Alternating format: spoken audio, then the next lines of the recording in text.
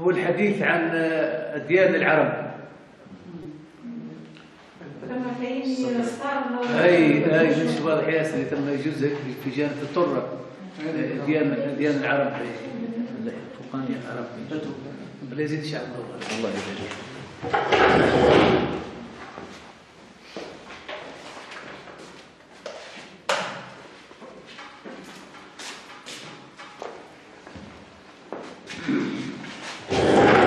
أيوة من اللي يقرأ؟ وأنا وأنا في أول الجملة البدو البدو من عرب الشمال أكثر عددا من من الحضر من الحضر الحضر أي. وأعظم أثرا في تاريخ العرب السياسي واللغوي. البدو البدو من عرب الشمال. من عرب الشمال. سلام أكثر عددا من الحضر. من الحضر. وأعظم أثرا في تاريخ العرب السياسي واللغوي والأدبي. وهم أهل فطرة سليمة. والذين في الجاهلية والدين. والدين في الجاهلية. هم وهم أهل فترة سليمة. سليمة. من هم؟ من هم؟ البدو. العرب هذه؟ البدو؟ العرب العرب من خص البدو هم أهل فطرة سليمة. ما هي؟ دين الفطرة. الإسلام هو نعم. الإسلام الإسلام. ال- ال- الإسلام يهتدي إليه الإنسان بالفطرة. أما مش هو الإسلام نفسه. أما الفطرة تهدي إلى الإسلام. الفطرة هي ما ينشأ عليه الإنسان قبل أن يخالط بشيء من التعليم وبشيء من الأمور الاجتماعية ولا ما ينشأ على الإنسان. ولهذا في الحديث يولد المرء على الفطرة. على الفطر وأبواه يهودانه وينصرانه. والحقيقة هي واو مش أو. يهودانه وينصرانه ويمجسانه. هذه هي الفطرة هي التي ين- الطبيعة التي ينشأ عليها الإنسان. وهذه الطبيعة هذه الفترة التي كانت عند العربي فترة سليمة هي التي تهدي إلى الطريق السوي وتهدي إلى الإسلام وتهدي إلى الخير. نعم والدين في الجاهلية كان أيضا دين فطرة إيمانا بالله وعملا للخير من غير نظام معين للعبادة. واضح. الجملة هذه. الدين في الجاهلية نقول العصر الجاهلي. بماذا يحدد العصر الجاهلي؟ قبل الإسلام؟ نعم. قبل الإسلام؟ أي قبل الإسلام لكن الفترة كم من السنين تعد ليحسب عصر جاهلي عده ب 150 سنة ما قبل بعثة الرسول. ب 150 سنة هذا عصر جاهلي ويطلق عليه اليوم بالعصر الجاهلي بالجاهلية. وهي عصر فترة هم في الحقيقة أهل فترة لأن في ذلك الوقت قبل البعثة لم يأتهم لا نبي ولا رسول ولا شيء فهم أهل فترة وأهل فترة. هذا العصر الجاهلي. الدين في الجاهلية هل كان منقطعا تماما أم هو موجود؟ قال كان الدين موجود دين فطرة أي الدين يهتدون إليه بحسب فطرتهم السليمة فيعرفون أن الله سبحانه وتعالى يؤمنون به ويخافونه ويثقون به ويعتمدون عليه ولكن لا على نظام معين. العبادة ما كانش عندها نظام معين وتعاليم معينة وطقوس معينة يقومون بها بل هكذا فطرة سليمة أهدتهم إلى معرفة الله سبحانه وتعالى والإيمان به والثقة به ولكن بشيء من الغموض كما سيأتي. تفضل يعني إذا إذا قلنا معناها قبل معناها بعثة النبي صلى الله عليه وسلم أي. 150 سنة معناها نجموا نمشيوا للقول اللي يقولوا معناها أبواب الرسول صلى الله عليه وسلم في الجنة بما أنهم تولدوا في الفترة في الفترة أي. أي، نعم أي. الفترة متولدة بالفترة والفترة هذيك وما كنا معذبين حتى نبعث رسول. رسولا نعم والدين في الجاهلية قال دين وسط والدين في الجاهلية كان أيضا دين فطرة. إيه؟ إيمانا بالله وعملا للخير من غير نظام معين للعبادة. واضح. إيمانا بالله. إذا كانوا يؤمنون بالله ويعملون الخير. وهذا يورد في أشعارهم وفي سيرهم وفي أخلاقهم وفي معاملاتهم كثير منهم. ولكن قال بدون نظام مش الديانات الأخرى الدين الإسلامي والديانات الأخرى اللي تم طقوس وتم عبادات وتم أوامر وتم نواهي وتم سلوك وتم معين شيء لابد منه. لا هم دين الفطرة يهتدون به إلى الإيمان بالله ويهتدون إلى أن عمل الخير هو المفيد. ولكن لا يتقيدون بنظام معين في سلوكهم وفي عباداتهم وفي تعاملهم. نعم ولذلك سيدي هما عبدوا الأسلام معناها باش يقربوهم إلى الله معناها هما كانوا يؤمنوا بالله هاي ها س- س- ها سيأتينا في النص هاي سيأتينا في النص. تفضل. من غير نظام معين للعبادة مع شيء من خوف الله والثقة به. إيه؟ قال أفنون التغلبي وهو شاعر جاهلي قديم إيه؟ لعمرك ما يدري امرئ كيف يتقي إذا هو لم يجعل الله له واقيا هذا إذن هاو إيمان بالله في هذا البيت الجاهلي بيت جاهلي لعمرك أقسم لعمرك ما يدري امرؤ ما يتقي إن لم يجعل الله له واقيا بمعنى أن الحافظ والواقي من هو؟ هو الله.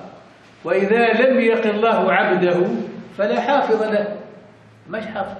هذا إيمان بالله بأن الحفظ والوقاية من جانب الله عز وجل. وإذا لم يحفظ الله عبده فلا حافظ له مهما فعل وهذا يذكرنا ببيت البصيري عندما يقول وقاية الله أغنت عن مضاعفة من الدروع وعن عالم من الأطم. إذا كان الله وقى الإنسان وحفظه فإنها تغنيه عن كل الأسلحة وكل الوسائل التي يجابه بها الشدائد ويجابه بها الأخطار. وقاية الله أغنت عن مضاعفة من الدروع وعن عالم من الأطم. وهنا أيضا قال إذا لم يحفظ الله الإنسان فلا حافظ له. هذا ماذا الفكر الفكر ماذا فكر إيمان بالله. فكر إيمان بالله عز وجل. ولهذا جعل الوقاية والحفظ لله وليس لعبده أنا. وقال عبيد بن الأبرس في معلقته من يسأل الناس يحرموه وسائل الله لا يخيبون. كذلك. هذا اعتراف بماذا؟ بأن العطاء من بأن العطاء من عند الله. وهذا دليل على الإيمان بالله. من يسأل الناس يحرموه. الناس يسألهم الإنسان وهذا كما نرى ونشاهد. تارة يعطونه وأغلب ما يكون يحرمونه ولكن من يسأل الله لا يخيب وسائل الله لا يخيب. هذا- فكر إيماني اهتدى إليه العرب بماذا؟ بالفطرة السليمة بالفطرة السليمة. أنا من أجل ذلك لا نستغرب وجود نفر في الجاهلية كانوا يعرفون بالحنفاء. و- إيه؟ وكانوا ورعين سلكوا مسلكا دينيا عاقلا إيه؟ ومسلكا أخلاقيا حميدا. ودعوا من ورعين. ما هو الورع؟ خوف الله. خوف الله. وتقواه والبعد عن الرذائل والبعد عن ال- الشبهات. هذا الورع. الإنسان ورع أي تقي يخاف الله. كان في الجاهلية عرب ونفر قال وقل وإن كانوا قل كانوا يخافون الله وكانوا لا يميلون إلى المنكرات وإلى الرذائل التي كانت موجودة في الجاهلية ومباحة عندهم. هؤلاء يتورعون عنها ويبتعدون عنها بل ويدعون من غيرهم إلى الابتعاد عنها إلى ترك العادات الفاسدة كالثأر وواد البنات وشرب الخمر والميسر وغيرها من الموبقات التي كانت مشاعة في العصر الجاهلي. نعم ودعوا من حولهم إلى هجر الأوثان وترك مساوئ هجر. الأوثان. دي ركزوا على بعض المفردات هي اللي تعطينا المعنى. هجر الأوثان. ما معنى هجر الأوثان. ترك الإنسان ترك الأوثان. هجرهم هجرا جميلا. الهجر هو ابتعاد. ابتعاد عن الشيء وتركه نعم وترك مساوئ الجاهلية من الخمر والميسر والثأر ووأد البنات. نعم سيدي ما قالش الكفر بالأوثان؟ قال هجر هجر إيه، ترك.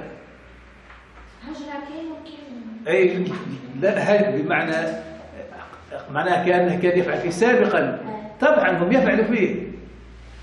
هم يفعلوا فيه ولقد دعاهم إلى هجرها. هم كانوا يفعلون هذه المناكر وهؤلاء النفر الذين هم الحنفاء يدعونهم إلى ترك هذه المناكر ولهذا يدعونهم إلى إلى هجر وأد البنات هجر شرب الخمر هجر الميسر هجر ال- كل الخبائث والرذائل. كما قال الله سبحانه وتعالى والرجس فاهجر أي ولسه فهجر هو في حتى الرسم. كان ثم حاجات يعني في عهد في الجاهلية أي. كانت موجودة وبالاسلام اقرنا الإسلام. أقرها موجود. هذا هي أقرها الإسلام.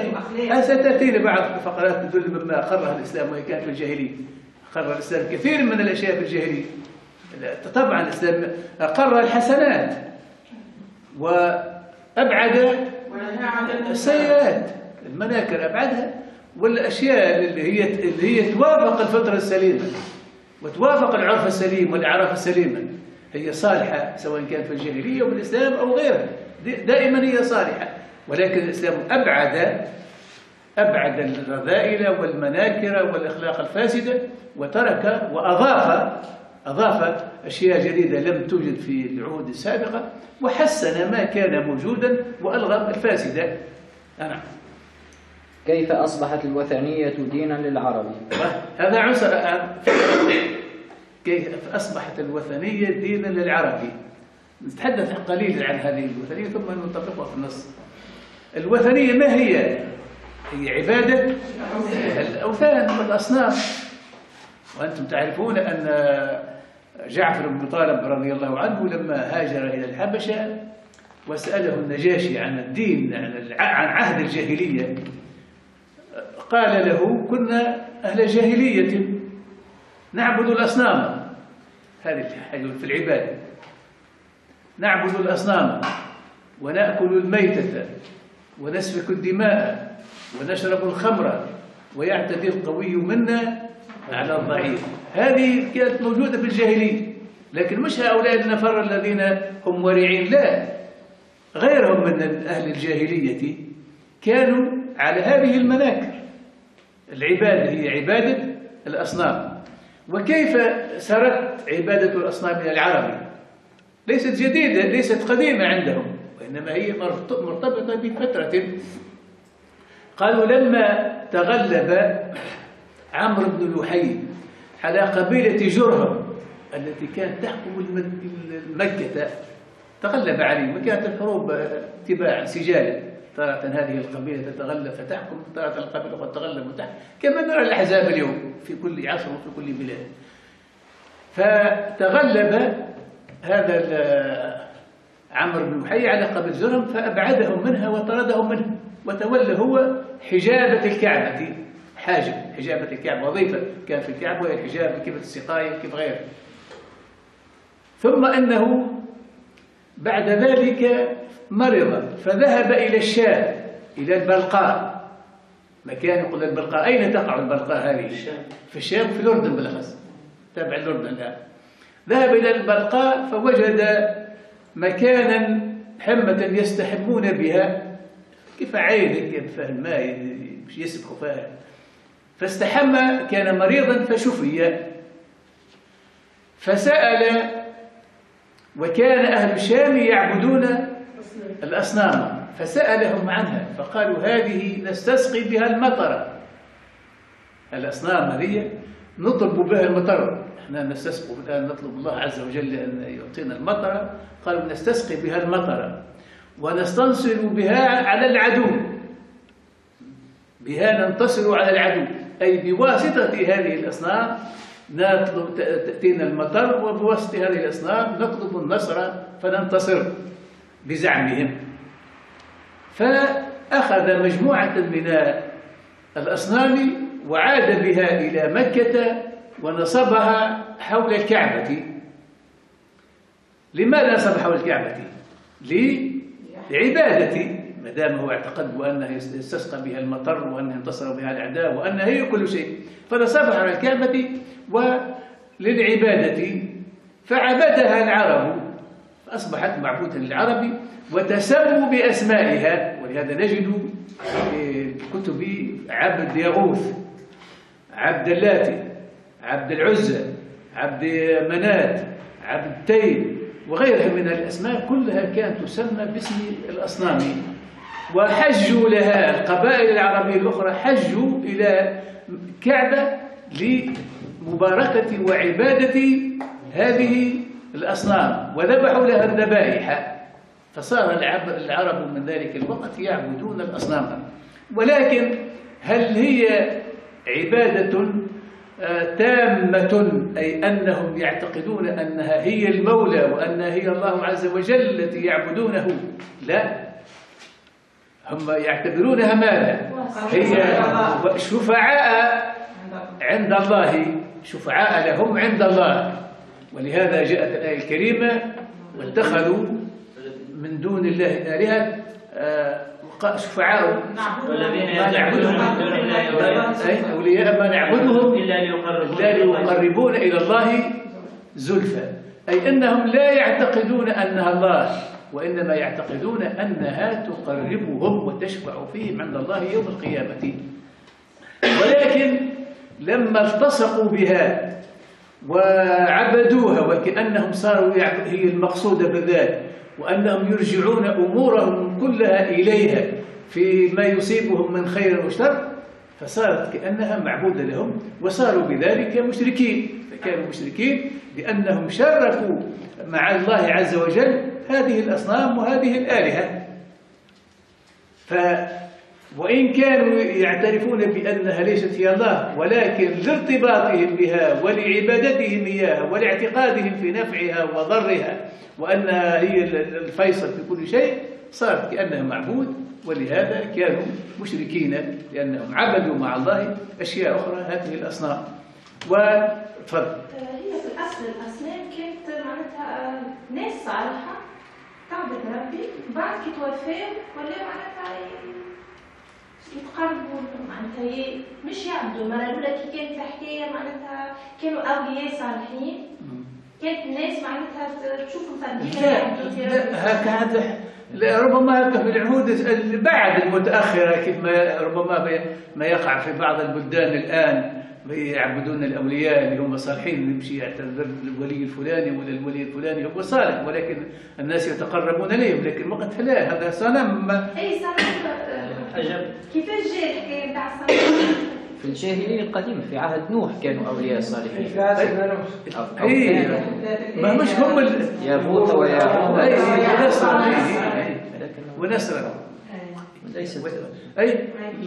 عندنا الشرك مغادر. نعم. مغادر عندنا الشرك أي؟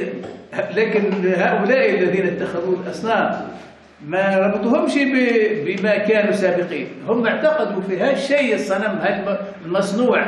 المصنوع من طين ولا مصنوع من حجارة ولا مصنوع من, من شيء أمامهم يصنعونه. بل بالعكس هم بعضهم كان يصنع إلهه من من شيء من تمر ولا من شيء مأكولات. من مأكولات. كان يصنع إلهه من تمر. هل هذا كان أكله. فإذا جاع أكله. فإذا جاع أكله.